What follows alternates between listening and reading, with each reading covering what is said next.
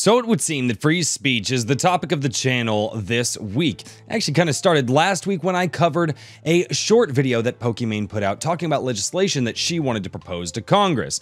That then carried over into my Sunday live stream where I read all of the comments from the videos, which then inspired one of my subscribers to leave a lengthy comment to which I made a video on that discussing the ideas of free speech and exactly how it works in the online digital age.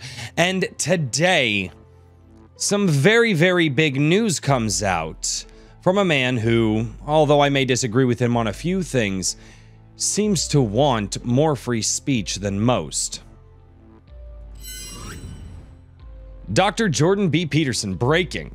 The Ontario College of Psychologists at CP Ontario has demanded that I submit myself to mandatory social media communication retraining with their experts for, among other crimes, retweeting Pierre Poilievre, uh, ah, my French is rusty, and criticizing Justin Trudeau and his political allies. I have been accused of harming people, although none of the complaints involved in the current action were clients of, of mine. Okay past or present, or uh, and were even acquainted with any of my clients. I am to take a course of such training with reports documenting my progress or face an in-person tribunal and suspension of my right to operate as a licensed clinical psychologist. Uh, the right and licensed, rights are not licensed out. Dr. Jordan Peterson. So you never had a right to practice. You were licensed to practice as a clinical psychologist. About a dozen people from all over the world submitted complaints about my public statements on Twitter and Rogan over a four year period out of 15 million who followed me on social media, claiming that I'd harmed people, not them, with my views. Interestingly enough, the world and free speech is getting more and more restrained. Laws and the elite are going after the thought criminals because it's those of us out here who are sitting here talking about these ideas, what the elite are doing. And when you say, well, what do you mean the elite? Okay, government, government institutions, schooling, the richest among us, the people who gather governments and Hollywood together, such as places like the WEF, the various different groups that get together and they try to line the pockets of politicians in order to have certain laws passed. I don't know, maybe the people out there who decide that, well, because they have more money than everybody else, that maybe they should influence policy, influence culture, and ultimately do things time and time and time again that absolutely reduce the freedom of movement, the freedom of expression, and the overall freedom to exist that the rest of us have. So that's the elite. That's who I'm talking about. Now, although I may have some disagreements with Jordan B. Peterson on his idea of what he considers to be free speech and his ideas around anonymity online. I think that honestly, he has done a lot of good work for a lot of people. In fact, I've listened to many of his podcasts and found a lot of his conversations quite interesting. All right. This man here has gone out and really the reason that he has had as many people, 15 million people follow him over the years, is because he struck a chord with many, right? He said, hey, it's okay to exist. One, he spoke to a lot of young men. He's also gone out there and challenged in a very big way the compelled speech laws that Canada has. That's right. If you don't know, over the course of the last about five to seven years, Canada has passed several laws in multiple different provinces that tell you not only what you can and can't say, but tell you you have to say certain things. A lot of this is involved around people's pronouns, and honestly, I think that's completely preposterous. Not only are you not allowed to disagree, but you must speak in favor of what you disagree with. These compelled speech laws are the absolute antithesis of free speech. Silencing somebody and their speech is one thing, but telling them they have to speak a certain way that's complete that's a complete different level of evil. And again here, he is to take a training, a retraining. He is supposed to go through a retraining in order to maintain the license that he's had for, well, I God, I think over the last 30 or 40 years.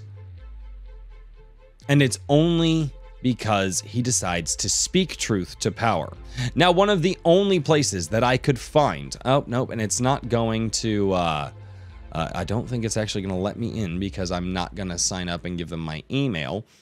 Uh, maybe it will. The only place that I could find that was covering this at all outside of just Jordan Peterson's tweets was thejewishpress.com. I have never been here before at all, so I have no idea if it's a reputable website at all. But the Ontario College of Psychologists has demanded that uh, Dr. Jordan B. Peterson submit himself to mandatory social media communication retraining with its experts. The November 22, uh, 2022 decision by the inquiries, complaints, and reports of the committee was confirmed by the college in a statement on its website saying it had decided to require Dr. Jordan B. Peterson to successfully complete uh, a prescribed specific continuing education or remedial program. Okay, remedial, that's interesting. I use the word remedial in my day job for when people decide to screw up and they have to go through remedial trainings, right? It's you've done something bad. All right. The substance of the SE of the SCERP, which is what they specific continuing education or remedial program, is a coaching program to address issues regarding professionalism in public statements. So essentially, what they are saying is that this man, a private individual, is not allowed to make any sort of statement that they deem at the college against what they believe. Not against what he believes, but against what they believe. Because again, they don't believe that he has acted professionally. And they, being the ones who license him, right? Let's get that out there. The governments who license him have decided that it is not appropriate for him to speak against their power, especially while holding one of their licenses. This man has definitely been attacked by many, many, many people before. But the attacks just escalated, ladies and gentlemen. Remember,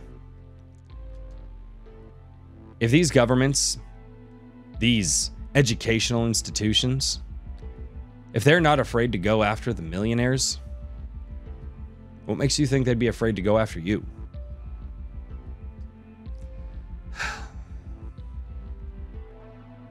God be with us all. I feel like dark days are on the way. But never lose faith and always remember there's light at the end of the tunnel. Ladies and gentlemen, thank you so much for being here on A Drink with Crazy.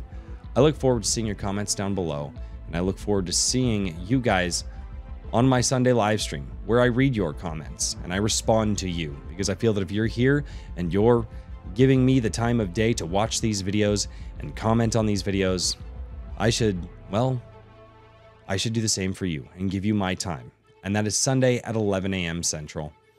Also, I would love to see everybody here at 8 p.m. Central on Friday nights when we do a live stream show called Iron Age Nights, where we're talking with authors, comic book writers, tabletop game developers, movie directors about the stories that they're going to build because they're absolutely tired of what Hollywood has been doing over the last decade or more.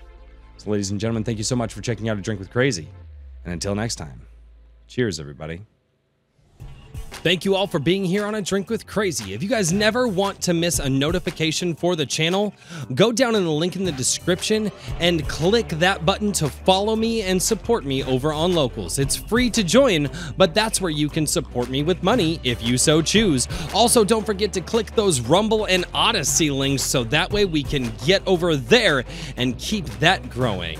And until next time, cheers, everybody.